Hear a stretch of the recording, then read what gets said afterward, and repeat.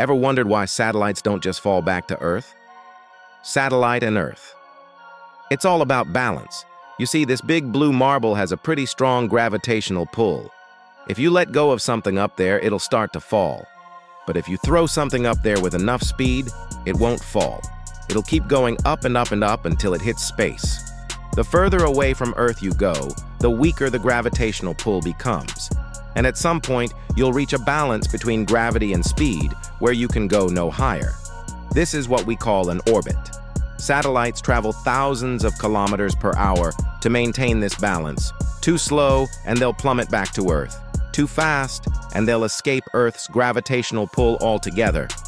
So satellites stay aloft by moving fast enough sideways to counteract gravity's pull. It's like swinging a ball on a string. Let go, and it flies off. In space, gravity is the string, and speed is the swing.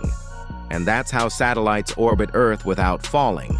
If you're fascinated by space, be sure to like and subscribe for more interesting videos like this.